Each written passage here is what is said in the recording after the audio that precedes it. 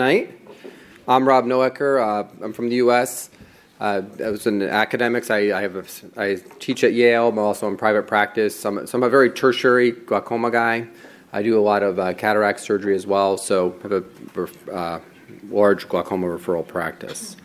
So this is a tool that I've I've been working on this technology probably for about seven to ten years and I've worked with a number of the different laser tech companies. So in some ways, the concepts are, are not really new or proprietary, but I think the application to glaucoma and especially for um, cyclophotocoagulation is new. And I think much as Mark addressed earlier, and we've heard from the retina speakers, you know, ch- changing our mindset about what we really want, really want a laser to do. Many of the problems with laser therapy is really over treatment.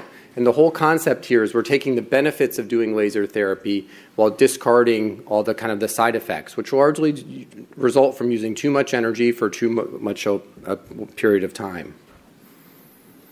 Um, as I said, I work with a number of the laser companies um, that have uh, Iridex is one, Lumenis, uh, Quantel. So in glaucoma therapy, so we, we take it from where Mark was talking about, so office-based therapy, and I really could look at SLT as like using it a medication. And I use it first, I use SLT first line. I'm very comfortable doing that. I think it's the best thing for our patients. Um, as you've heard, we have a new president in the United States and uh, the, the, world is a little bit different now, and there's a lot of uncertainty in terms of health care coverage in the United States now. Um, no one really, every year, is, January is always a big surprise for us. It's like, because no one knows what's going to be covered or how much they're going to pay or how much they have to pay. Um, it's, it's, really pretty, it's really pretty crazy. Um, So we go from office-based therapy with SLT medications, and then traditionally the other extreme has been these really kind of bad glaucoma surgeries, you know, very high risk, you know, trabeculectomies, putting tubes like Ahmed valves or Baerveldts. Um, and there really hasn't been a lot of middle ground in terms of managing, being able to manage the risk profile. So a lot of times you'd wait till you really, really had to do glaucoma surgery and let patients get kind of bad because just the risk of glaucoma surgery traditionally has not been, been worth it. How many people here do like trabeculectomies? How many people are happy that they do trabeculectomies?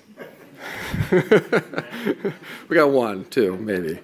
I'm not. If I never do a trabeculectomy again, it'll be too short. And I still do them, unfortunately. So, you know, so ideally, what do we want? As, as Mark kind of said, we really like control. You know, if we can control the outcome by what we do in the operating room or in the office, that's really the best case scenario. We don't have to rely on these secondary variables um, in terms of you know patients having to manage um, the disease themselves, or we have to do more management um, downstream. Um, an efficient procedure. I work in sur- you know I work only in surgery centers now, and I, I, basically have time against the cataract surgeons, so they look poorly upon you know any procedures uh, that that take a very long period of time to do. We want something that could be repeatable. You know, the worst case scenario I always say is that it just doesn't lower the pressure adequately but we always can go back. This is a procedure you can go back and, and retreat and basically become more aggressive um, if it doesn't do, just as we can repeat um, with, with SLT. And the other thing is we don't destroy future options. We don't have to do any, we don't do anything bad to the conjunctiva if we want to do a, a conjunctiva procedure. We don't do anything bad to the canal of Schlemm if we want to do a canal-based procedure. Um, so really, we, we don't destroy future options. And really, with glaucoma, we're really just kicking the can down the road in much of what we do to basically buy time until a better therapy comes along. So, you know, traditionally, uh, the glaucoma transcape, you have drugs, you have SLT, the MIGS procedure, you know, which I do all of the, the new MIGS procedures in my, in my practice. I think they, they have a nice role. I think the short size, the efficacy is not quite as potent as, say, a trabeculectomy.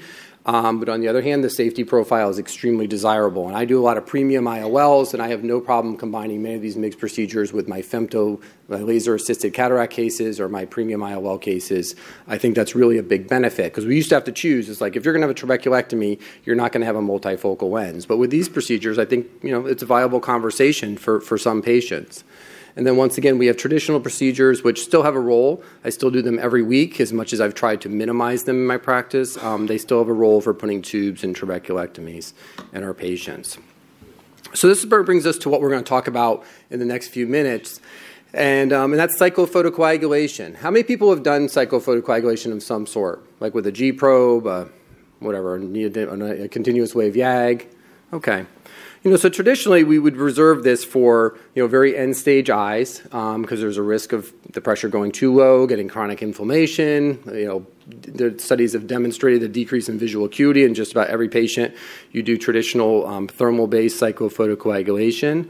Um, the technology we, we talk about um, here um, can do that and there's some role for that in these patients that are just really bad and nothing else works. But I think a reasonable thing to try first is this sub, subcyclo um, photocoagulation of the ciliary body. And we'll talk about the pluses and minuses. But really, you'll start to hear a recurring theme in everything tonight is once again, it's getting at this concept about not over-treating, um, kind of taking baby steps and doing something that's more benign. Because once again, traditional cyclophotocoagulation, thermal-based cyclophotocoagulation works. It works very well for lowering intraocular pressure. But there is a failure rate, 50% failure rate at 10 years. Most of them occur in the first year, and um, and a lot of patients lose, do lose visual acuity. Um, there's a visual loss of two lines or more, and 75% of that. So it's something you expect when you do traditional thermal based. You know, sometimes that's acceptable because it's better than total blindness, but patients are going to lose vision on 75% of the time. Ptosis in 3% of the eyes, and basically the really kind of sick eyes tend to keep getting sicker and often uh, lose vision. So when we look at what we're doing here, we're really operating, and Mark, Mark kind of showed a, a similar uh, graph to this, is in the near infrared range. So we certainly have the visual um, wavelengths here, and then we're working right around here.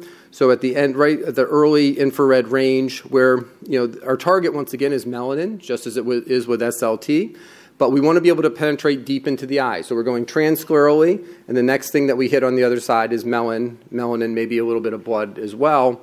Um, so we want to be able to have a deeper penetration depth. That's why we don't use visible wavelengths because we just won't get the transscleral penetration. We want to get into the eye to the level of the ciliary processes where the where the pigmented epithelium is and takes it kind of takes the non-pigmented epithelium along with it the, at the level of the ciliary body.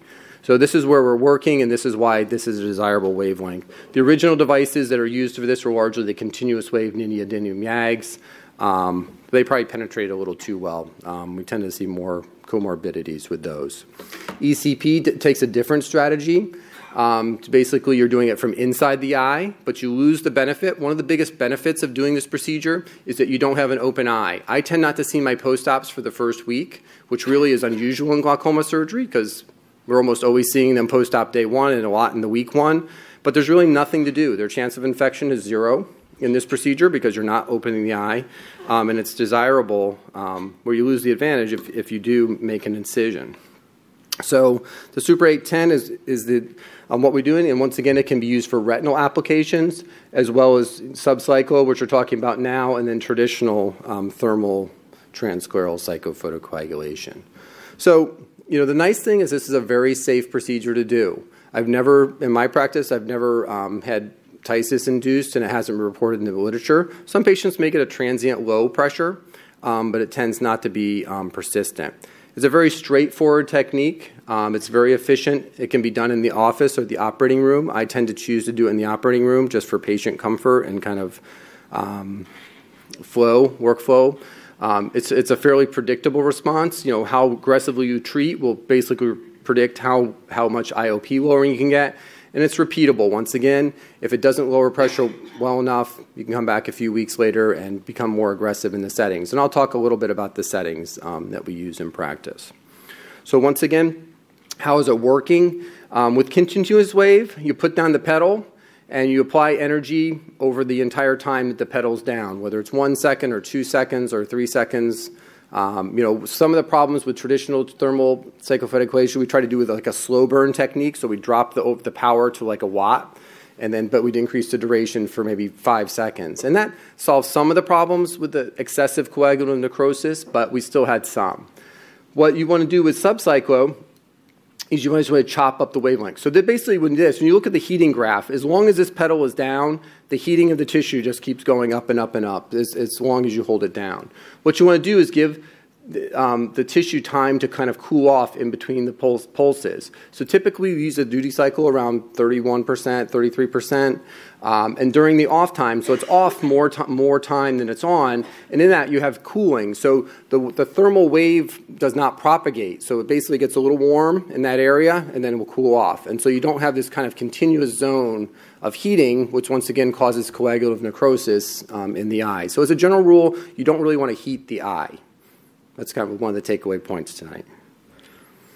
So when you look at studies that have been done in Singapore, and Paul Chew has probably been the pioneer um, with pushing a lot of this um, through, he basically looked at with the heating effect. And what you see measuring infrared and thermal effects is with a thermal continuous transscleral probe, you can get up to 550 degrees Celsius. And we've seen that. If you get a little bit of pigment on the tip, you can see cracking, you can see an explosion of the tip sometimes. You can create thermal burns on the sclera.